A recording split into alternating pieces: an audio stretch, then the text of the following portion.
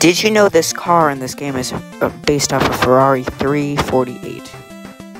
Okay, we're good. Back. Good.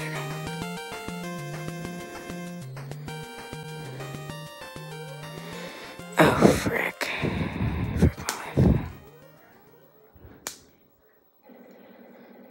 Wow, I made it so far. I Suck at this game.